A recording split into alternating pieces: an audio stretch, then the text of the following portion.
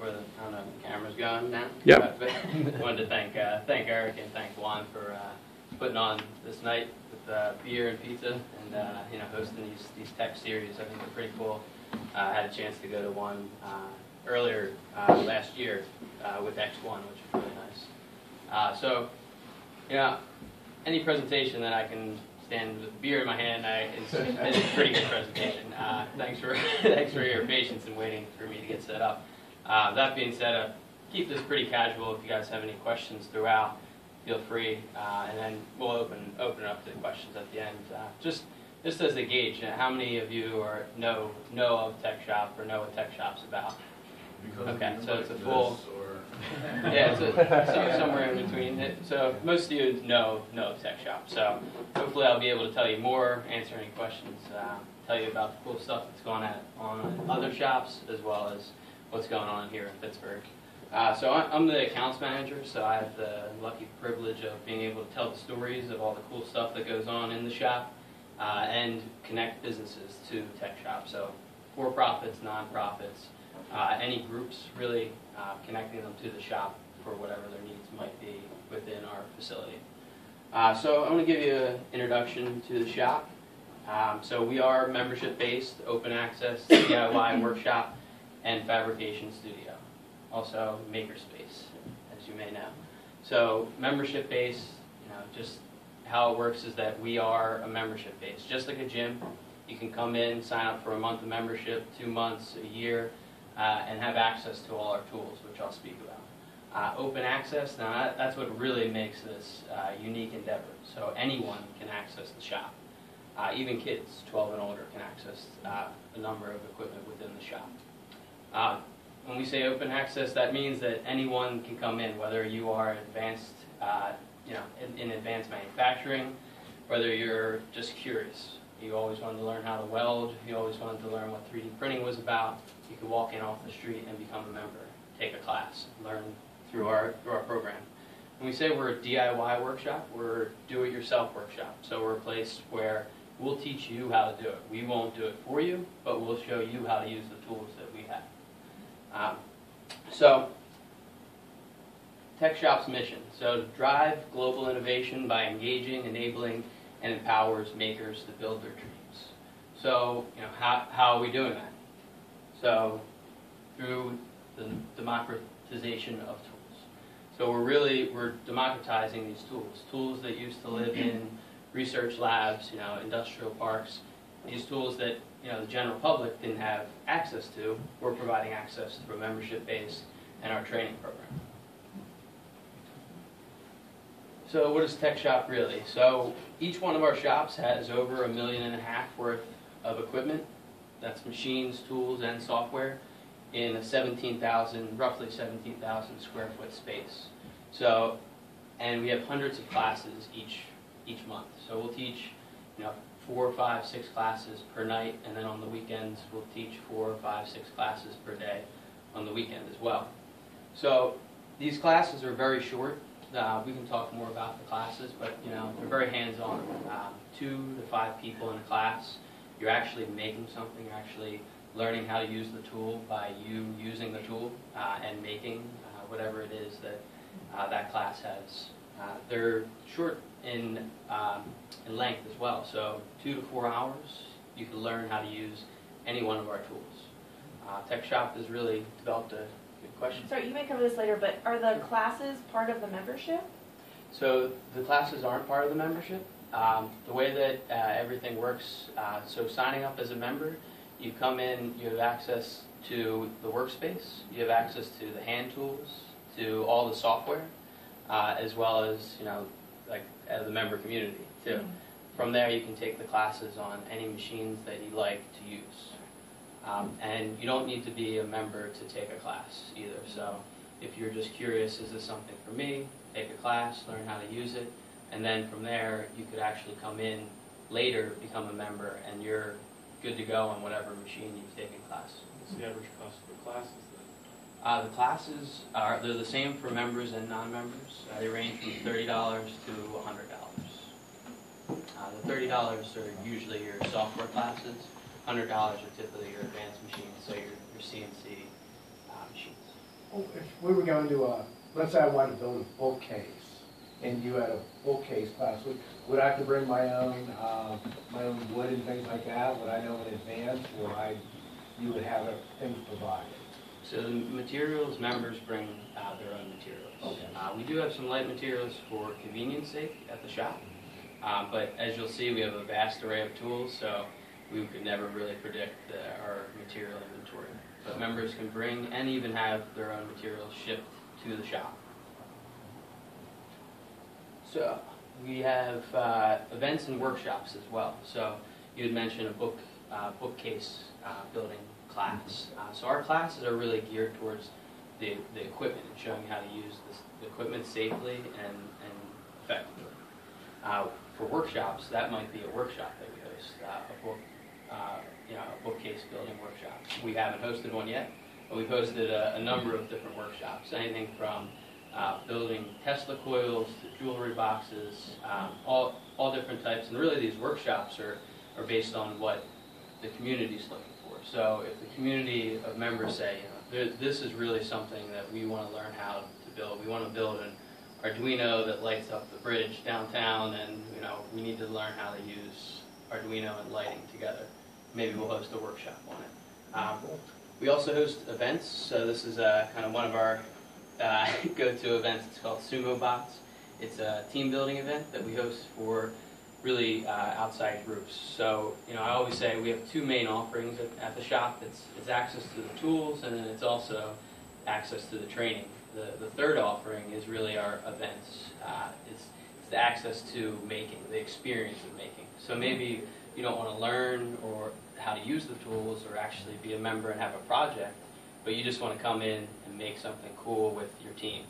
So we have team building events as well. Uh, and really, you know, the main main key ingredient to the whole thing is the maker community. It's, it's all the interesting people that come together.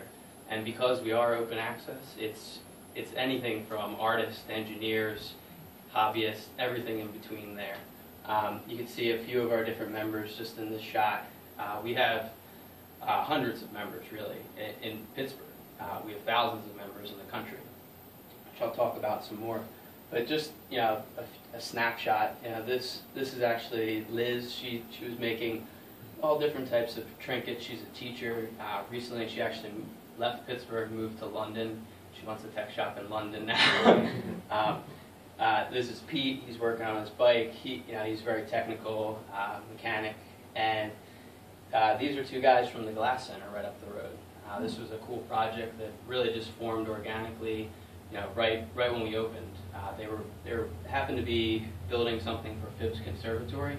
Uh, they were blowing this uh, life-size woolly mammoth, and they they were commissioned to do this job.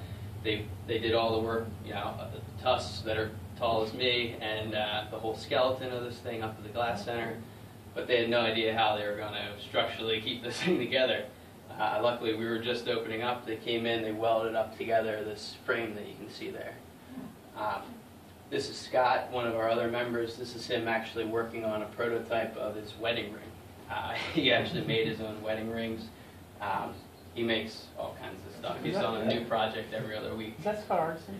That is Scott Arson. Yeah. I love Scott. He's an interesting He- guy. yeah, uh, he's great. He's great.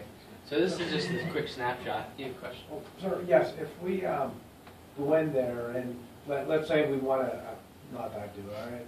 Let's say we wanna make jewelry, uh, then do we, can I go in and use that stuff or do I have to be certified on it before I can use certain piece of equipment? You, you would be certified through the class. So we do require that you take the class before using the equipment.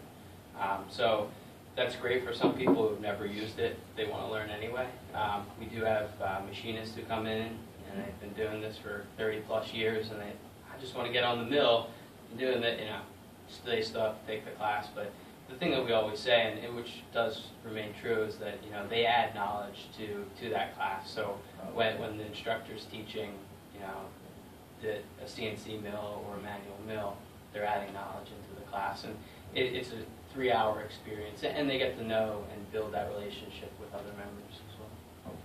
You have a question? So, I mean, I, I don't think you mentioned this. You said the use of the machines are free once you join the membership, right? Yes.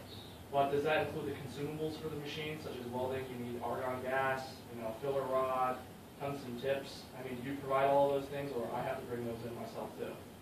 Uh, it's, it's dependent. So our, the argon gas is included, uh, MIG welding, we supply all the MIG wire. Uh, the tungsten tips, we have those on hand. Um, you know, we provide all the bits for all the machines as well. So those are consumables, part of your membership. If you're doing, you know, very precision, um, precision engineering and you need very precise bits, we always recommend, you know, to bring your own just because you, you might be at the end of, a, we might be at the end of a life cycle on, on uh, replacing those bits. And we can't really accommodate everyone in that sense, but but we do, we do supply, um, what you, what would naturally be thought of as a consumable. And then the second thing is if you bring your own bits, let's say they're a little bit different and it dam- damages the machine, and you're unaware of that, are you held liable? Well, through the class, you- actually get to understand uh, what um, the safety tips and bring in your own equipment. So one thing I didn't mention is we have uh, dream consultants on, on, on the floor. These, their actual job, job title is dream consultant. And they're, they're really on the floor to help you with anything that you may be working on. Um, So that's anything from, you know, you've just brought in your, your own bits, they'll check them off, make sure, hey, these are good to go, you need some help, you know, installing them on the machine, they'll help you there. Uh, They're also there, you know, if you, you're building your own bookcase and you're, you're not sure, you know, what equipment you want to use, what type of wood, you know, they can make suggestions or even connect you with other members in the shop um, who, who do that type of work. That, pretty much- Yeah, sounds good. Okay. Um, So, so getting into the tools, you know, I already mentioned that we have uh, manual mills. We have three manual mills, two metal lathes. These are in our machine shop. Um, Here you can see a couple of our CNC, um, CNC tools. So this is our CNC milling machine. Uh, It's a four-axis machine. It has a, has an attachment that creates that fourth axis. Um, This is a CNC wood router. Uh, For those of you not uh, familiar with the CNC, it's computer numerically controlled, so you're actually taking a computer design and the machine's running off your computer design and computer inputs. Um, And we teach all the software classes that run these machines. Um, And we also, um, you know, we also have classes for the machine itself. So you could take, you know, say you already know how to 3D model and use CAD software or even and CAM software, uh, computer-aided uh, machining software. You wouldn't need to take the software classes. You could just use the machine, uh, take the class for that. Um, and just to give you some examples, run through various machines. I won't cover everything, but uh, we have machines, the sheet metal shear. You can see a finger brake in the background there. Uh, English wheel. Uh, these are all uh, all really metalworking tools. Uh, the whole welding shop. We have two MIG welders, uh, two TIG welders. We have a plasma hand torch, spot welders. Um, we also have acetylene torch. Uh, the woodworking shop. Um, it's a full woodworking shop. You saw the CNC wood router. Um, we also have a wood lathe. Uh, anything from you know your basic miter saw, hand tools, to table saw, joiner, planer. Uh, in our plastics working area, uh, we have our injection molder. Uh, so it's a 20-ton injection molder, um, and then also our vacuum former. So these are great for plastics working. Um, you know, the vacuum former, you can do anything from you know, making uh, molds for packaging to masks to chocolate molds. Um, the injection molder is really great for prototype. And I have an uh, example uh, of a company that probably know that, that use that. Um, textiles, um, you know, we have uh, a whole textiles area. So uh, industrial sewing machines, regular sewing machines, uh, CNC embroidery. Um, we also have a screen uh, screen press, so for screen printing, uh, we have that as well. Uh, a whole laser lab, so we have three uh, three lasers that can do some very precision stuff. Um, and actually, I'll, I'll pass around a couple of things um, that, that were done on the lasers. Um, again, I said, you know, just keeping this pretty pretty informal, but I want to give you guys an idea of uh, you know what can be done on these lasers. So this is a piece of wood, um, just engraved a picture. Um, and this, I believe this picture came right offline. So you're basically taking uh, something just like you print it out, and it's using a high-powered CO2 laser to etch and cut material. Uh, this is another example here. Uh, this is a piece of But that wasn't done by hand, you, you, you maybe made a, a, a picture, put it on there, and then that Mhm. etched it all out? For that, you actually didn't even make the picture. That was just the picture downloaded online, and you essentially hit print. How deep can that go? With a, with a wood substrate like that? I mean, Uh, or is it just gonna cut all the way through if I let it, or? It can cut all the way through. It'll, it'll cut up to about a half inch, but you'll have to do multiple passes. Or I guess Um, the other way to ask it is, how much depth can I get it to, to use? mhm. This is about a quarter inch of acrylic, and this is cut through easily in one, one pass. Um, I would say up to about a half inch is, is kind of your, uh, Would would the software help me I'll pass scale it? Um, So anything from cardboard to plastic. These are all, the stuff going around is all, all done on the lasers. Um, They're, they're one of our most popular machines. We, we say that they're, you know, it's, it's kind of like the uh, gateway drug to making, is what we, what we say. It's, yeah, it's- it- they're very, you know, very easy to use, highly powerful, and, you know, anybody can come in and customize and make something really cool. So we have companies use them for prototyping parts, because they're very precision tools. Um, and then mass customization, you know, you can engrave anything, um, almost any different material. Uh, I've seen, and I always tell people, I've seen, yeah, Um, yeah, I've seen people take their jeans and engrave stuff in their jeans. We have a couple of fashion designers who have cut the material, cut patterns out of their, um, out of clothing, and then sew uh, fabric underneath, creating a very um, interesting fashion design. Maybe make like quilts with it, or, I mean, I've seen people turn things out and quilts out of them, that would be, You, not you, much things, but you would. touched on, uh, on an interesting thing. We, we actually had a gentleman come in on this past Sunday, uh, an artist uh, from Los Angeles randomly was in town, and he gave a talk. He's a quilt maker, A- and he gave a talk on how he makes these very intricate quilts. Not a tech shop, but that's one of the interesting things about the shop. We have uh, guest speakers come in. It's a very open community, uh, and that's that type of way. So what if I'm looking to mass produce something? And let's say I use a 3D printer, which obviously is the worst choice to mass produce anyway. yeah. But I'm like, by Sunday, I need 100 units, and I'm just sitting in there the whole day, loading these spools up. Do I have to pay those spools, or are those spools included for the plastic filler? So, so if you brought your own spools of plastic, and that, that they're yours, they don't cost you anything. Um, if you're using ours that we do have on hand, we charge you fifteen cents a gram, which is pretty much the same as you would pay if you bought your own. Um, Do you have limits on machines? Yeah, so the, the way that it works is that you can actually make a reservation on any given machine. Um, the limit, and, and we ran, Tech Shop ran into this early on, that they didn't want to become a production facility, you know? So it, it doesn't take too long until somebody says, I could just do everything right here, and then they use all the machines all day.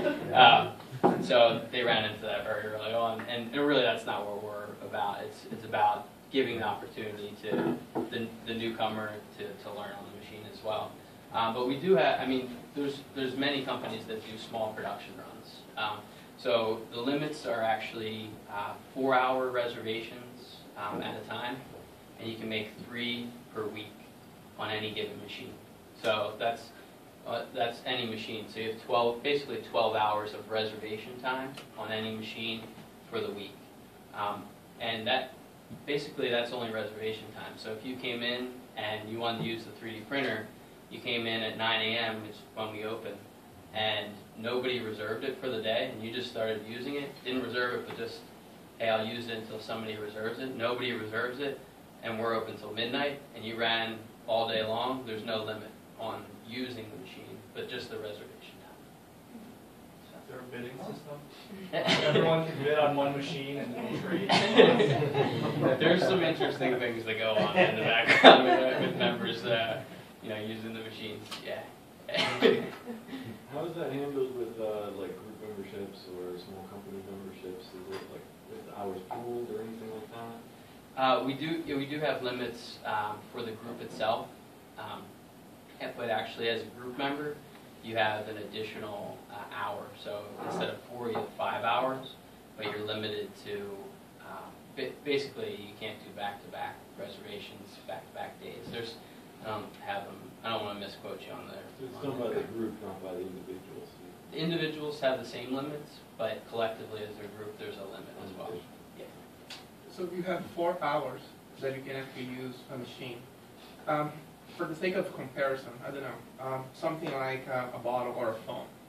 Um, if someone models that, how long it takes to render the to print it? Uh, to 3D print? Yeah. Um, Something as small as something like this, just for comparison. Um, if you have a good print set up and it's maybe the size of a bottle, it could take, you know, four, up to like maybe four hours. Um, so like you said, 3D printing isn't really best way to go in mass production, but for prototyping, it's, it's a good thing. And I actually have, uh, I brought a couple examples of, kind of move on to, uh, I'll go back to 3D To printing. now. extend the, the metaphor and the problem, Yeah. what do you do when someone who's working on a multi-hour project, who didn't have a reservation, and then then suddenly the machine has a reservation, but their project is still running through the file? Do you boot the person who's, who's currently running, and what do they do about that? Do they just kind of cross their fingers and hope it doesn't happen, or? Have them pay you. Yeah. Yeah. Yeah, yeah, ul- ultimately, that's why we have the reservations in Right. place. Uh, If, if you are on there and you're running an eight-hour job, um, it is the risk that I you're. mean, even if you were running a three-hour job and then someone makes a reservation for the next hour, Well, in that case, we'd say, make a four-hour reservation and you're, you're solid, nobody will, will interrupt your, your time. Yeah. Um, So we do have software and electronics. Um, We have a nice partnership with Autodesk, um, so full suite of Autodesk on every one of our computers. Uh, That's the CAD, CAM software, architectural software, I mean, you name it that Autodesk offers. You know, This is a $20,000 suite of software that you'd find really at high-end design firms. Um, Because we have a great partnership with them, we have that loaded on every one of our computers, uh, as well as the, um, I don't know if it's the complete, but it's almost the complete Adobe suite as well. So we teach classes on pretty much everything in the, in both of those, those suites. Um, classes vary in, in time. Um, electronics as well, um, you know, we teach classes on Arduino. Um, if you guys are familiar with the microcontroller Arduino, uh, we'll teach different levels. I think we're up to level three um, here in Pittsburgh, but we'll go up to level six or seven. The levels are just different offerings, different uh, components and aspects of Arduino. Uh, basic soldering, so you'll have kids that come in and learn how to solder for the first time. Um, you know, it's, it's this whole range of things that happens. Um, if you guys have any questions um, on this as well. So this is our water jet cutter. Uh, this this is actually the, one of the most powerful pieces of equipment we have. Uh, this this will cut through five inches of just about anything: uh, granite, steel, titanium. Um, it'll do engineered cuts up to one inch, so the most precision cuts that you'll find around. Um, this is actually using uh, high pressurized water to cut through material when it, it mixes with an abrasive. Uh, this this high high pressurized water is actually moving almost uh, twice the speed of sound, um, so it's a very powerful machine, um, and you can cut anything on there. You can see this uh, lion cut out. Actually, I have a have, a, have an example here of the, that same file that you might have saw floating around in the Pittsburgh city skyline that was cut out on the lasers. Uh, that same file taken over to the water jet and cut out of aluminum. Now this is like butter for this machine. Um, it's very, very thin aluminum. Um, but imagine, you know, this could be precise precision cut up to one inch of hardened steel. Um, you can pass that around. Watch the, the edges on it. It's, it's slightly sharp. I've never, I'm- I'm not familiar with that at all. So are you the one actually guiding it across, or do you, you, I guess you put in, the design into the computer, then that takes over and then does all the cutting? Exactly, yeah, it's, it's based on the computer. Um, so you would, you would take, um, so the same design was, uh, an Adobe Illustrator design, uh, vector, vector file, and, and you let the machine run, uh, autonomously. Um, it's a two D, so it's flat surfaces, uh, but you can put very large stuff onto this, um, onto this bed. I think it's a, it's a good eight by six foot bed. Um, So we, we What's have, the lateral resolution? um, I, I'm not sure, but it's, I mean, I mean, it's in, it's pretty thin. it's very, yeah, it, it's in the thousands, I would say. I, I I can't quote the exact. And then the vertical resolution. You said Yeah. it could dig through many, Yeah, w- one inch for your precision, where you won't have to do any polishing or cleanup. Um, after one inch, it starts to get the, the flare out, the water starts to flare, so you have to actually smooth those surfaces, but it can go, it can cut through up to five inches, um, pretty much any material. So we have people that cut out, you know, kitchen countertops on here, tabletops, uh, the glass center cuts out glass, very intricate glass working pieces. Uh, that's what's really great about this, is you can cut any material, it's, it's foam, uh, it, you know, it's glass, it's, it's, it's anything. That's wood that you choose. How long would that have taken, uh, approximately that? That one, I actually cut that out, so I can tell you, it took five minutes and thirty-four seconds, and I, I, I- and I could have actually gone a lot fa, I could have, after seeing it cut, I could have cut it in probably a little over three minutes. Um, So yeah, this is the water jet. Um, I should mention, this is the only, this is the only piece of equipment that we actually, we actually do charge for this piece of equipment. Um, Charge three dollars um, per minute of cut time. Um, So that, that piece right there, at five minutes, it's about fifteen dollars um, of, of cut time. Um, And that's, that's really just because this is a very expensive piece of equipment and the, the power that it uses, uh, as well as the maintenance. And, you know, we maintenance, to touch on maintenance, we maintenance everything in the shop, uh, especially, uh, especially our 3D printers. Uh, 3D printers, there's a lot of maintenance that come along, um, especially with the, the MakerBots. But these are, these are great, um, really, you know, great machines. Um, We have two MakerBots. This is the 2X. You can see an example here. I brought a bunch of, uh, bunch of prints. Th- These both, um, the two, two printers print in two different types of plastics. So um, you could, and we do some 3D scanning just using uh, Kinect. This is somebody we, uh, that we scanned at one point, we print, printed her out there. Um, but these print in uh, ABS plastic and uh, PLA. So ABS is kind of your different, uh, different things. This is one of the cooler prints. You can print stuff inside of other stuff. So if you look at this ball, there's actually, you look really close, there's four balls inside of this, uh, inside of this here. Do you guys have a resin printer? We don't, we don't. We have just the MakerBot 2X and the 2. Um, The 2X we print in the ABS plastic are and you, do you have any plans for expanding into multi-material or high precision, uh, 3D printing? I can't say firmly that we do, but I think as, as the price points and 3D printing technology advances, the shop will advance with it. Like the price horizon where you guys would consider it then? I mean, are we talking 3K, 30K, 300K? I mean, So these, these 3D printers um, are about 3K, Right, 2 to 3K. And they were last year. They, they were last year, right? So a- as the market evolves, uh, the shop will, will evolve. with it. So this, this chain was all printed all together at once. Was this one printed with the MakerBot or the other one more professional?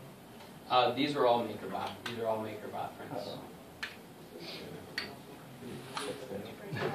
Um, so to touch on 3D printing, usually there's a lot of, lot of questions about 3D printing. I just had another slide.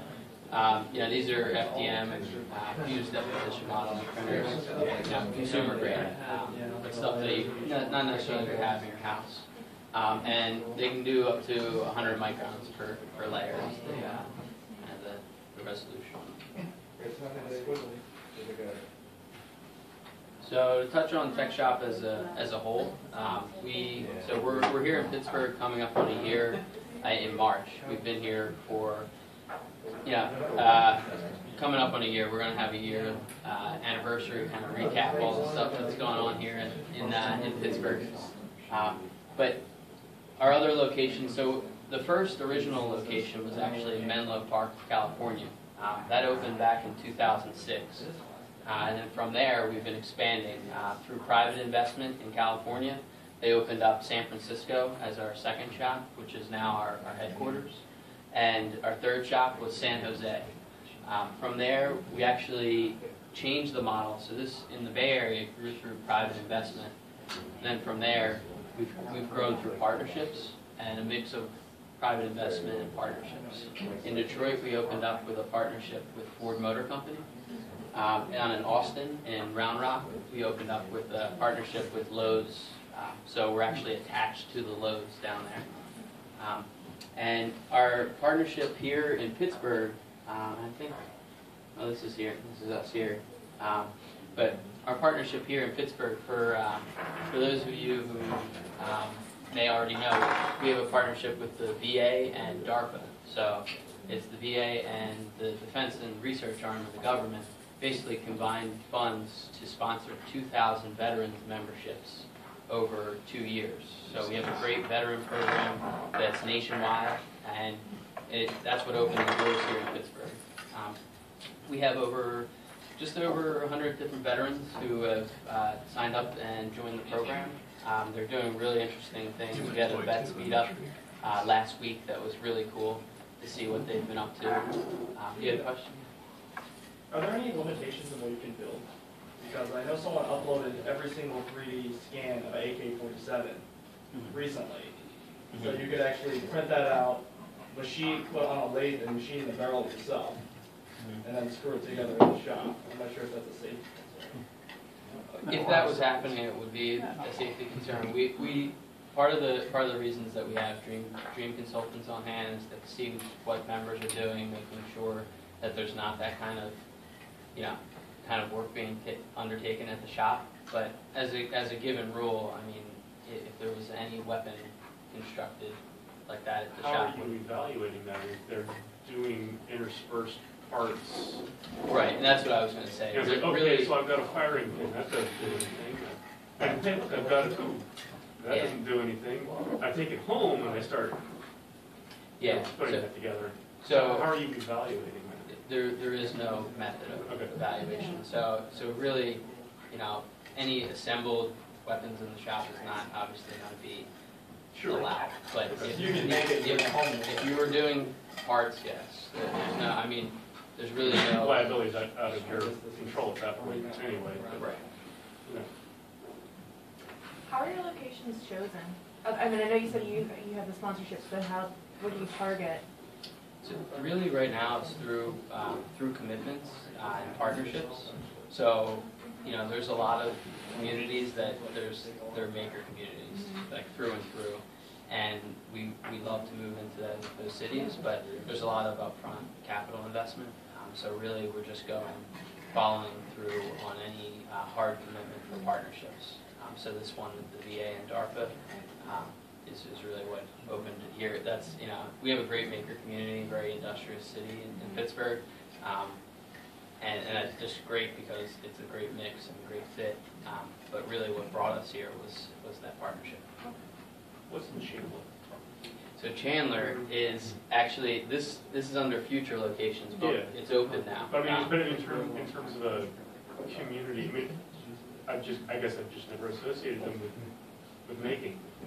Yeah, yeah, I, I, I it's never just did either. I- my part. I never did either. I would have Um, gone to Boston first, I guess, is, Well, well, they have, they have a very progressive university out there, uh, Arizona State University. Uh, They actually partnered with TechShop.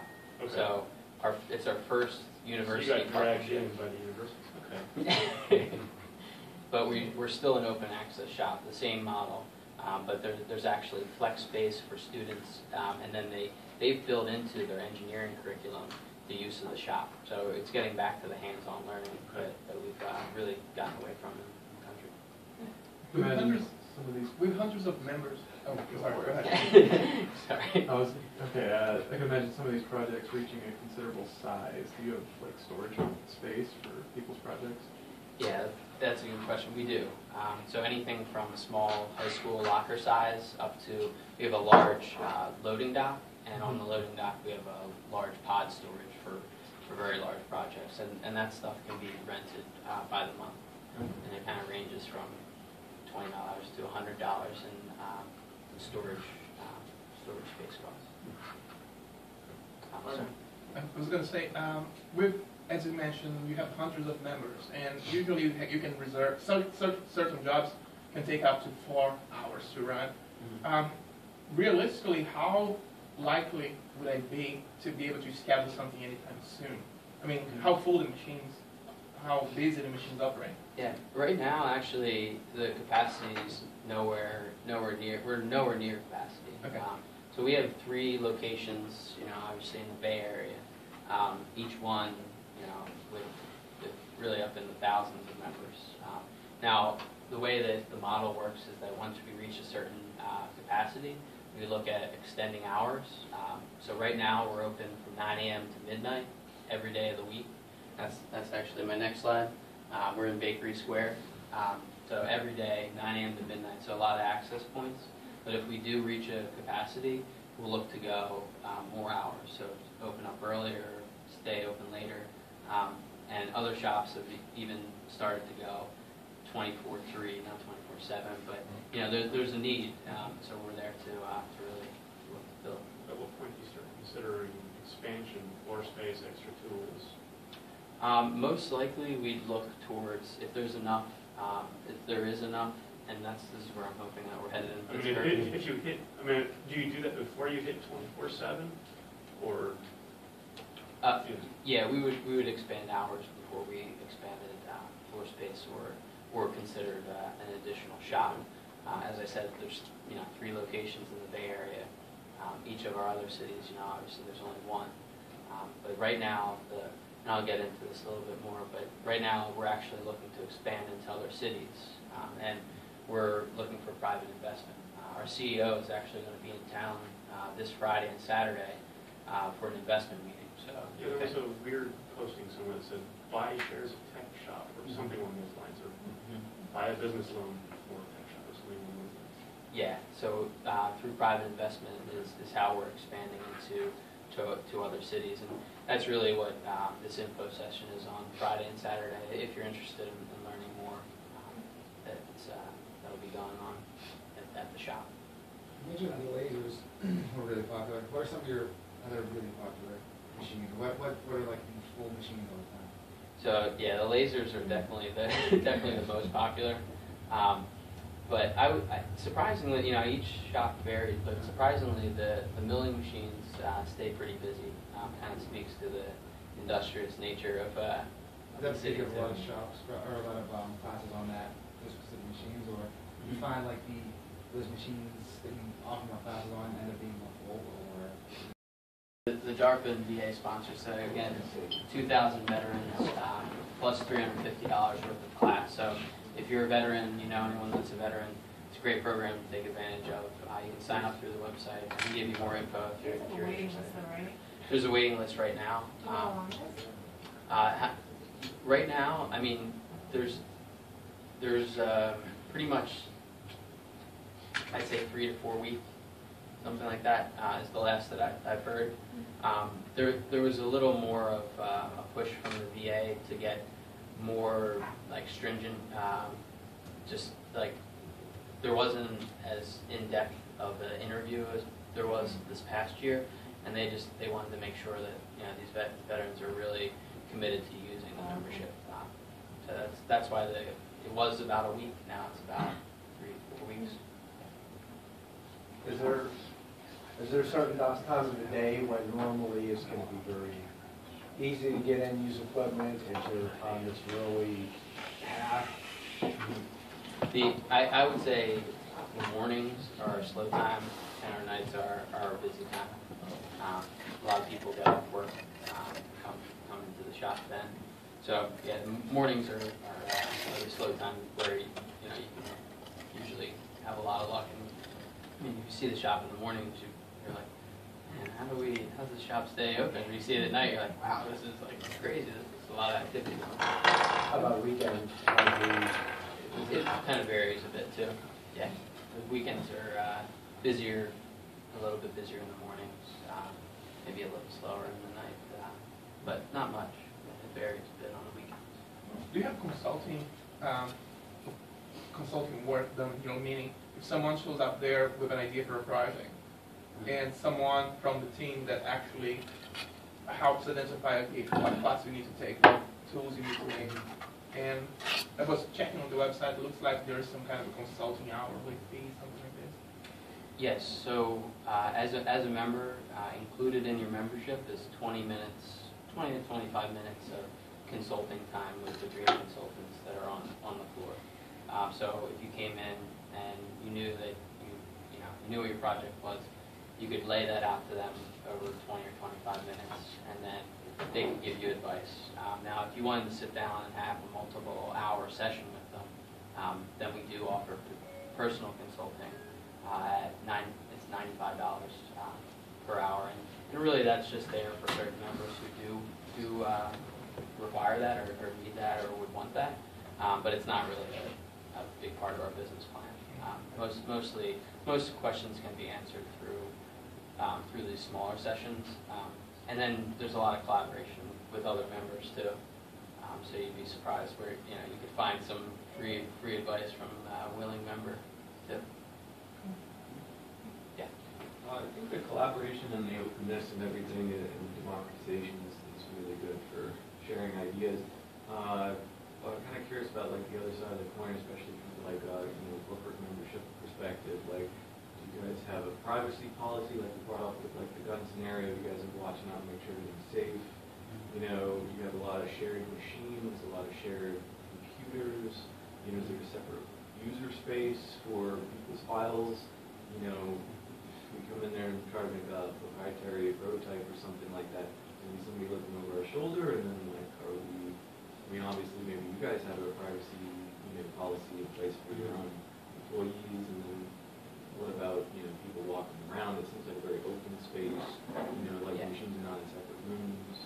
How Yeah, does that well, fit? It's a completely, you're right, it's a completely open space, and, and we do have a policy as employees, you know, you're, you're, you're protected against, against any of our employees doing anything with your ideas, but as far as members, I mean, you know, it's, it's really, it, some members are very open and collaborative with their work, some members are very secretive. You know, we do have certain corporate members that come in, and, you know, they're a little questioning of like, should I sign this, uh, agreement? Because it doesn't, it doesn't protect me against the member doing just what you said. Um, but they, you know, kind of took the leap of faith that, hey, I put sweat equity into this design. If somebody can look over my shoulder and, you know, learn everything about my design, then, you know. So, but it is a balance. Some, some members are a little more secretive. Um, and then as far as the, the, the computers themselves, um, there's a shared space that anyone can share stuff on. Uh, and at the end of each day, the computers are wiped clean under a deep freeze, as we call it. Um, so most members use stuff on their USB, um, and keep it to themselves. If you left something on the computer, it won't be there the next day. Um, but there, you know, that's, it is true that there's no, uh, you know, there's nothing stopping another member from trying to replicate your, your work. Um, so a Do couple, you uh, support uh, like Dropbox usage on those computers, or do you try to keep them from going onto other websites? there's no restriction on, um, on going onto Dropbox's website and pulling files. No. Yeah, I mean, we're, you can access really anything on the internet. Um, So, you know, getting into what, what's been made at Tech Shop, you know, there's anything that from, uh, the world's, world's fastest, uh, one of the world's fastest electric motorcycles, made pretty much from scratch. Jet packs have been made, uh, as we say, uh, a mobile bar stool, uh, Segway bar stool.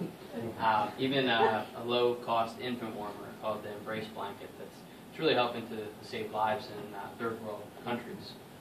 Um, those are some of the big examples that kind of all around the country. This is one of our biggest examples. Um, so Square actually was prototyped out in TechShop in San Francisco.